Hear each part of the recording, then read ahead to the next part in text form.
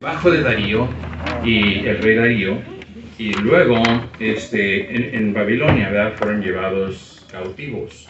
Y ahí en Babilonia este, el rey tiene un sueño. Y este, eh, bueno, ahor- ahorita voy a regresar a donde tuvo el sueño, pero ahora eh, eh, Daniel está bajo este rey, Darío, que, que Daniel era más, la Biblia dice, tenía un espíritu superior, versículo 3, pero Daniel mismo era superior en estos sátrapas gobernadores porque había en él un espíritu superior y el rey pensó en ponerlo sobre todo el reino. Entonces, eh, una vez más, Daniel está extranjero en Babilonia, está bajo este rey, este imperio, y tenía ese espíritu superior y lo quería poner como encargado. Y, pero había unas personas que no lo querían. Y Daniel era una persona cristiana, un pueblo de Dios, del pueblo de Dios, y esta gente no lo querían. Entonces, de buscar una manera de cómo ah, eh, matarlo, cómo eliminarlo, ¿verdad? Porque otra vez era superior. Entonces, vamos a leer los versículos 6. Dice, entonces estos gobernadores y sátrapas se juntaron delante del rey y le dijeron así, Rey Darío para siempre vive, todos los gobernadores del reino, magistrados, sátrapas, príncipes y capitanes, han acordado por consejo que promulgues un edicto, o sea, una ley, un edicto real, y la confirmes que cualquiera que en el espacio de 30 días demande petición de cualquier dios u hombre fuera de ti, oh rey, sea echado en el foso de los leones. Ahora, oh rey, confirma el edicto fírmalo para que no pueda ser revocado, conforme a la ley de Media y de Persia, eh, la cual no puede ser abrogada. Firmó pues el rey Darío el edicto y la prohibición. Cuando Daniel supo que el edicto había sido firmado, entró en su casa y abiertas las ventanas de su cámara que daban hacia Jerusalén, se arrodillaba tres veces al día y oraba y daba gracias delante de su Dios como lo solía hacer antes. Entonces en la historia aquí es donde Daniel era un hombre de oración. La Biblia dice que tres veces al día oraba, ¿verdad? Hermanos, los musulmanes nos ponen a la vergüenza a nosotros. Ellos oran cinco veces al día y paran lo que están haciendo y van y se arrodillan y oran a un Dios falso, un Dios asesino que quiere matar a la gente que no crea como ellos creen, ¿verdad? Y, y eh, ahora no, no tenemos un odio por si no tenemos un odio hacia ellos sí tienen un odio hacia los cristianos, ahora nosotros no. Ah, si hablamos de esa manera es porque eh, así es esa religión y toda persona y toda religión que mate a una persona no es de Dios, es del diablo. El diablo quiere matar, Dios quiere dar vida. Pero bueno, este, entonces aquí está Daniel, oraba tres veces al día. Y dije, los musulmanes oran cinco veces al día. Y que, que es un Dios falso. Los cristianos no oran tres veces al día. Bueno, no, no lo siento. Sí, sí oran tres veces al día, ¿verdad? El desayuno, el lonche y la cena. ¿Verdad? Gracias, Señor, por este desayuno. Gracias. Um, pero tristemente hay algunos que es, es así. Pero Daniel oraba esas tres veces al día, dice, y, y, la ley era de que pusieron esta ley que cualquier persona que orara a otro dios o otra persona, porque en esos tiempos los reyes eran como dioses y uh, pedían las peticiones a ellos. Y dijo, pon una ley que eh, la persona que le pida en 30 días a cualquier dios o cualquier otra persona que se echa al foso de los leones. Y Daniel, la Biblia dice, que uh, ya lo hacía eso todo el tiempo y es fue la razón que los sátrapas y estas personas que odiaban a Daniel hicieron que pasara este edicto porque ya oraba todos los días, tres veces al día. Y por eso dice la Biblia, este, entonces, eh, a, versículo 10, Daniel cuando supo eso, eh, que fue firmado, entró en su casa y abiertas las ventanas que dijo, ah, oh, este, ya no voy a orar porque hay una ley que ya no puedo orar. No, dice que siguió orando tres veces al día. La última parte del versículo dice, como solía hacer antes. O sea que ya lo hacía, ya lo hacía. Hermanos, quiero hablar acerca de la oración, acerca de las razones por qué orar. Ahora, eh, encontramos en la Biblia eh, creemos nosotros la Biblia, creemos la palabra de Dios y lo que Dios puso en su Biblia es cierto. Pero ya ha llegado eh, en el cristianismo tanta duda, tanta cosa, con, con esa tecnología, que ya no creemos que el Dios que salvó a Daniel del foso de los leones porque oraba tres veces al día, todas, o sea, oraba ya antes, no porque pasaron la ley, Dios lo rescata de una manera milagrosa, ¿verdad? Y ese mismo Dios que rescata de esa manera milagrosa, que rescató a esa gente de esos tiempos, que Dios lo dejó para ejemplo de nosotros, puede hacer lo mismo hoy en día. Hace lo mismo hoy en día. El problema no es que no pueda hacerlo hoy en día, el problema es que los cristianos no oran tres veces al día. El problema es que los cristianos ya no oran. Dios todavía puede hacer las cosas. Dios todavía tiene el poder. Dios nos envejeció como nosotros. Dios tiene el poder, la fuerza, el aliento eh, eh, para contestar. Y, y, ah, ese mismo Dios que milagrosamente salvó a Daniel nos puede salvar a nosotros de cualquiera que sea la situación.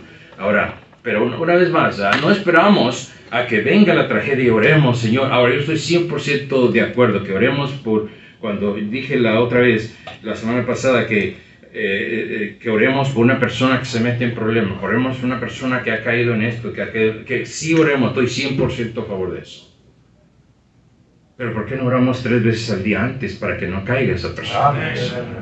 ¿Por qué no oramos ya antes? ¿Por qué no oramos ya? Eh, eh, eh, pregunta otra no quiero hacerle sentir mal, hermana, hermano, pero ¿ora usted por sus hijos al día? ¿Cuántas veces ora? ¿Cuánto? Compare su oración con el tiempo de su teléfono o la televisión. Otra vez, no estoy tratando de tirar el pie, estoy diciendo ¿verdad? que ¿por qué no oramos antes para que cuando venga ese tragedia no sea tanta tragedia no sea, o Dios libre, ¿verdad?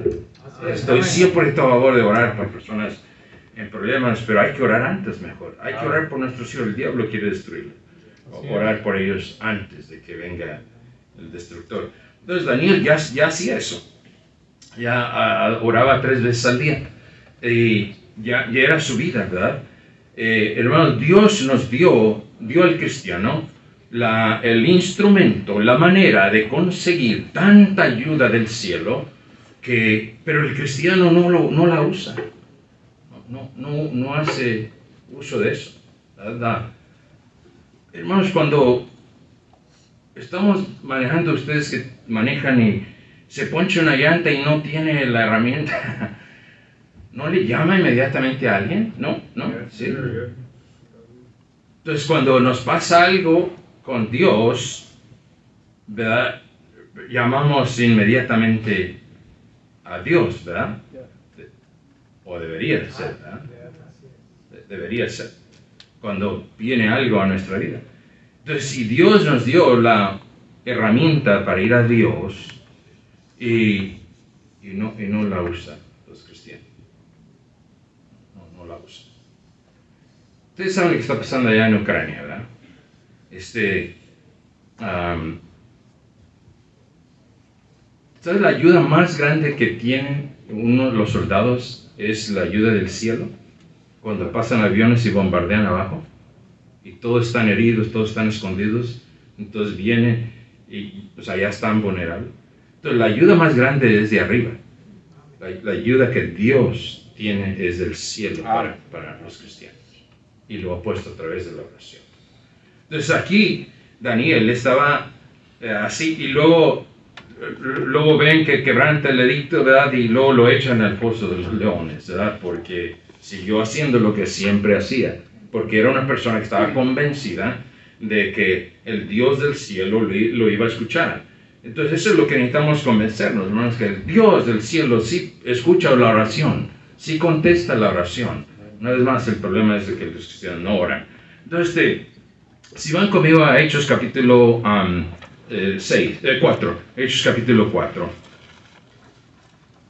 Entonces dije razones por qué orar, y ya dije unas, ¿verdad? Da este, una unión al cristianismo, vimos en Hechos capítulo 1. Y lo mencioné esta, la semana pasada, Hechos capítulo 2, 4, perdón. Um, en el capítulo 2 da un ánimo y da una unión a todos los cristianos. Ahora, Está hablando aquí de un grupo de personas, pero leímos acerca de una persona que tenía una vida de oración, que oraba a Él. Yo estoy 100% de acuerdo que oremos en grupo eh, como iglesia, por eso tenemos reuniones de oración, pero eh, uno necesita tener una vida de oración, el cristiano, uno solo necesita tener la, una, una, comunicación con Dios. Entonces dice, eh, me fui al 2, capítulo 4, versículo 23, por favor. Bueno, ya leímos este versículo, dice, eh, puestos en libertad vinieron a los suyos y contaron todo lo que los principales sacerdotes y los ancianos habían dicho, y ellos habiéndolo oído alzaron unánimes la voz, ¿a quién? A Dios, a Dios, y dijeron, ay Señor, ¿por qué no está pasando esto? Señor, mejor lleva, mejor este... No, oraron, ¿verdad? Y dice, tú eres el Dios que hiciste el cielo, la tierra, el mar y todo lo que en ellos hay. Hermanos, Dios, el mismo Dios, ¿verdad? Hoy en día en el cielo. Tiene ese poder, ¿verdad? Para que clamemos a Él y busquemos. Y están convencidos que, que Dios les podía dar. Entonces da fuerza y da ánimo. Este, espero que eh, cuando escuche usted vea eso le dé ánimo y le dé fuerza para eh, seguir orando. Y, dije la semana pasada, la iglesia sobrevivió por eso, porque la oración le dio fuerza, le dio ánimo. Y aquí una vez estaba en grupo y, y, después de amenazarlos se regresan y oran otra vez, ¿verdad? Porque dieron, se dieron cuenta que Dios contestaba, que Dios daba el poder. Versículo 31. Cuando hubieron orado, el lugar en que estaban congregados tembló y todos fueron llenos del Espíritu Santo y hablan con de nuevo la palabra de Dios. Ahora, no quiero, no me malentienda, ¿verdad? Ahora, eh, algunas personas que sí quieren sentir algo para seguir orando, algo, ¿verdad? Que, que, algo, ¿verdad? Ahí tembló, ¿verdad? Y si no tiembla es que no, si no tiembla Dios ya no está vivo o ya no va a contestar. Ese, no, y pero si nos dejamos llevar por eso es una emoción, es emoción y la emoción se va rápido. Entonces eh, eh, es fe, es orar, es fe, es pedirle a Dios. Es lo que hace que, que oremos, ¿verdad? la fe. Entonces aquí este, estaban congregados y tembló y fueron llenos, dice, y, y, ah, y, hablaban con denuedo la palabra de Dios. O sea, ánimo, estaban con valor, este, tenían ánimo. Porque habían orado, porque todos juntos oraron y Dios les contestó. Este, una vez más, hermanos, si oramos, oramos, oramos, oramos, Dios va a dar eso, porque Dios, este Dios viene. Y dice, con denuedo hablaban la palabra de Dios. Quiere decir que con valor. Por eso es que los cristianos no tienen valor, ¿verdad? Por eso es que los homosexuales tienen mucho valor. Los cristianos no. ¿verdad? Ellos sí levantan su bandera y dicen, ¿verdad? El cristiano no tiene ese valor. ¿Qué es suficiente sobre eso? Vamos a ir al capítulo um, número siguiente. Dije da fuerzas y ánimo. Y aquí dio fuerzas y ánimo.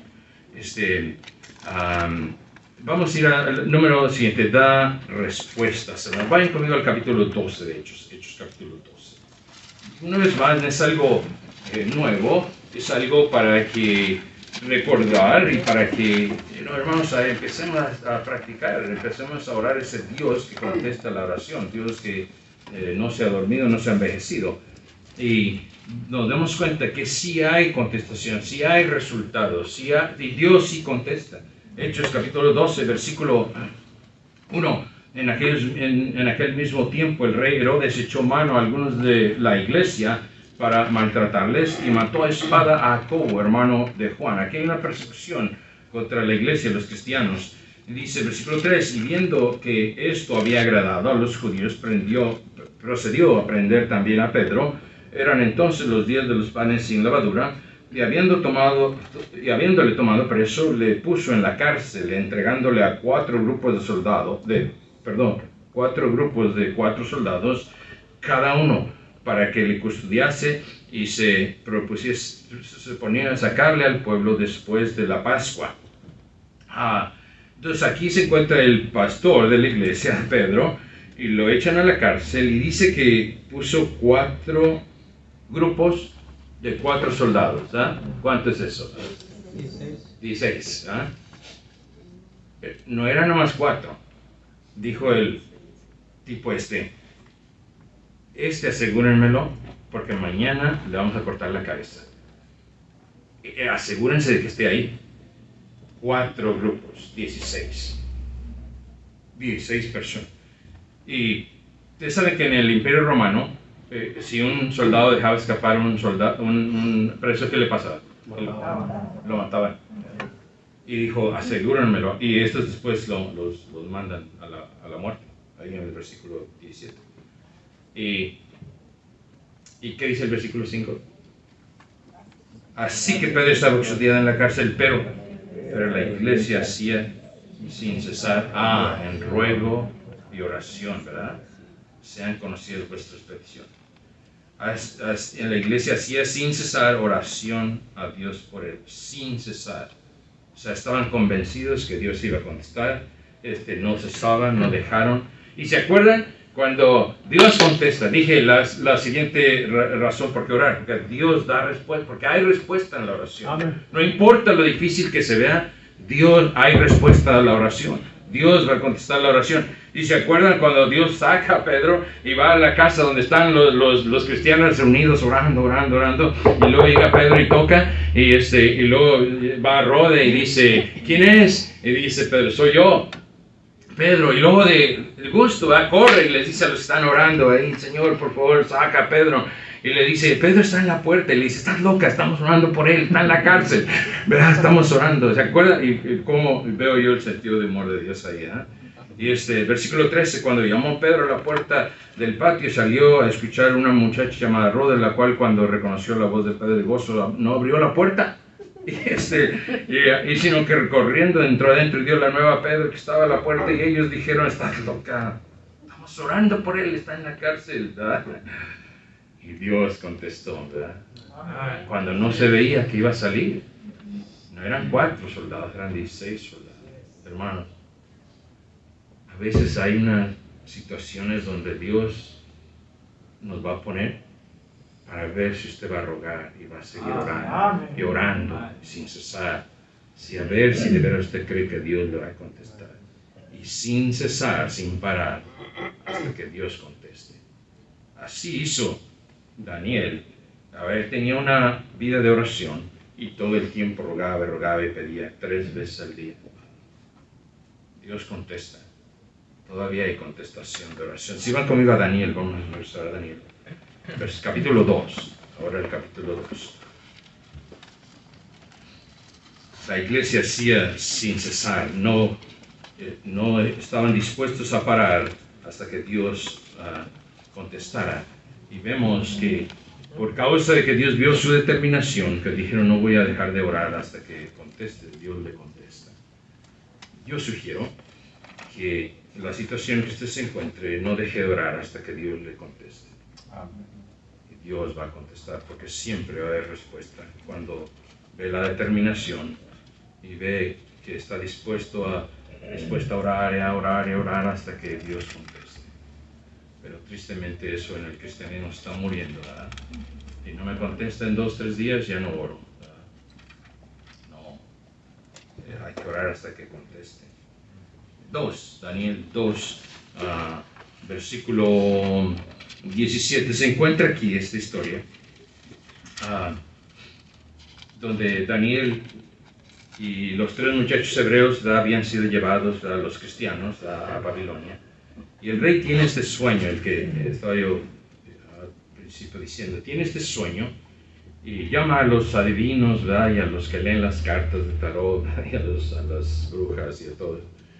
Y, les dice, "En- díganme el sueño que tuve. Y ah, digo, pero el sueño se me olvidó. Denme su interpretación, pero se me olvidó. Ustedes díganme. Entonces quería que le dijeran qué soñó y le dijeran cuál era la interpretación de su sueño. Qué inteligente, hombre. Que- Y, y ellos le dicen, hey, ningún rey ha pedido eso. Entonces dice, ah, que voy a matar a todos entonces. Y, y manda a matarlos. Entonces Daniel, cuando escucha, ¿verdad? que está matando a todas las personas ¿verdad? que revela visiones y sueños, viene y le dice al, al rey, versículo 17, luego se fue Daniel a su casa, eh, pide, pide tiempo, el versículo 15, pero no, no quiero leer tanto a ser el tiempo. Luego se fue Daniel a su casa e hizo saber lo que había a, lo que había a Ananías, Misael y Azarías, esos son los tres muchachos hebreos, sus compañeros, y para que pidiese misericordias al Dios del cielo sobre este misterio. Dice para que pidiesen, para que oraran al Dios del cielo. Y a fin de que Daniel y sus compañeros no pereciesen con los otros sabios de Babilonia. Entonces el decreto fue revelado a Daniel. Ah, que dijo entonces el, el secreto fue revelado a Daniel en visión de noche, por lo cual bendijo Daniel al Dios del cielo. Y Daniel habló y dijo, sea bendito el nombre de Dios del siglo en, los en siglos, porque suyos son el poder y la sabiduría. Él muda los tiempos y las edades, quita reyes, pone y da sabiduría a los sabios y la ciencia a los entendidos. Él revela lo profundo y, lo escondido, conoce lo que está en tinieblas y con él mora la luz. Dios, Daniel dice, ese Dios del cielo hace todo. necesitamos convencernos que Dios todavía puede hacer eso. Puede hacer eso por su hijo, puede hacer eso por su hija, puede hacer eso por su matrimonio, puede hacer eso por su hogar. Todavía dice, tú pones, tú frutas, tú das, tú revelas, tú todo, todo tienes. Hermano, hermana, está convencida que Dios puede hacer eso. Entonces hay que regresar a orar. Hay que regresar a orar. Este versículo 24, después de esto eh, Daniel va, um, versículo 23, perdón, a ti, oh Dios de mis padres, te doy gracias, te alabo porque me has dado sabiduría, fuerza y ahora me has revelado lo que te, lo que te pedimos. Dije, ¿por qué orar? La otra razón, porque da respuesta. Dios les contestó lo que era imposible, les reveló y les contestó. Dios puede hacer hoy lo imposible, hermanos. Si oramos, si oramos, estamos convencidos. Número siguiente, vamos a, por tiempo. Eh, vamos a ir a, Hechos, por favor, capítulo 10. Dije razones por qué orar da ánimo al cristiano, da unión al cristiano. El cristianismo da ánimo y fuerza al cristiano, da respuesta al cristiano número 10, por favor, eh, capítulo 10, perdón, número, eh, número 5, razón por la cual orar, este capítulo 10 de Hechos. ustedes saben la historia aquí, no voy a leer muchos versículos por causa del tiempo, pero se encuentra aquí un hombre que se llamaba Cornelio. Y este hombre eh, no conocía a Dios pero tenía, este hombre era, no era judío, este hombre era romano. Y yo, yo me supongo que había escuchado que los judíos le oraban al Dios del cielo, que Dios oraba y Dios contestaba. Y estaba en, en, Cesarea, donde era, era Israel, era, él era de Roma, era un, un centurión. Y pero, pero oraba él a Dios, aunque no lo conocía, pero oraba. Dice el versículo 1, había en Cesarea un hombre llamado Cornelio, centurión de la compañía llamada italiana, piadoso y temeroso de Dios con toda su casa, que hacía muchas limosnas al pueblo y oraba a Dios siempre. O sea, no lo conocía, pero oraba. Tenía un temor de Dios y oraba. Lo buscaba. Otra vez no lo conocía, pero, pero oraba. Y Dios contesta su oración, dice el versículo siguiente. Este claramente vio una visión como la hora novena del día que un ángel de Dios entraba donde él estaba y le decía, Cornelio, y él mirando fijamente y atemorizado, dijo, ¿qué Señor? Y le dijo, tus oraciones y tus limosnas han subido para memoria delante de Dios. Envía pues ahora a hombres a Jofe y haz venir a Simón, el que tiene por su nombre Pedro. Y entonces él viene este ángel y le dice, mira, Dios escucha tus oraciones. Manda a alguien que te venga y te enseñe este, el Evangelio para que seas salvo tú y tu casa. Y manda a alguien porque otra vez oraba siempre, no conocía a Dios, y manda a alguien para que venga con el Evangelio y salva a Cornelio y a todos los de su casa y a todos sus amigos. Y no voy a leer por causa del tiempo. Pero ustedes saben la historia, ¿verdad? regresa Pedro y le habla el Evangelio y cae el Espíritu Santo, ¿verdad? Y, y ahora son cristianos. Versículo 48, 47, por favor. Eh, 47. Entonces respondió Pedro, ¿puede acaso alguno impedir el agua para que no sean bautizados estos que han recibido el Espíritu Santo también como nosotros? Y mandó bautizar, bautizarles en el nombre del Señor Jesús. Entonces le rogaron que se quedase por algunos días. Toda esta gente que se reunió ahí, Cornelio reunió, eran familiares de ellos, amigos de él, no eran judíos, pero viene el Evangelio y Dios salva a toda esta gente porque a alguien oraba. Eh, Dios todavía quiere salvar a alguien. Si oramos por esa persona que no es salva, que no conoce el Evangelio, Dios todavía quiere salvarla. ¿Por qué orar? Porque hay salvación. Salva al perdido. Eh, alguien, algunos de ustedes, alguien oró mucho tiempo por algunos de ustedes. Alguien oró para que usted fuera salvo. Alguien oró para que usted recibiera el Evangelio. Si usted está aquí en esta mañana y no tiene a Cristo en su corazón, el Evangelio, hoy puede en oración decirle a Dios, Señor, sálvame, entra en mi corazón. A través de la oración, porque orar porque salva al perdido. Todavía hay esperanza. Eh, Dios quiere salvar al perdido. Dios quiere que los cristianos oren para que los perdidos este, sean salvos. Dios los salve. Vamos a orar. Gracias, Señor, por esta mañana.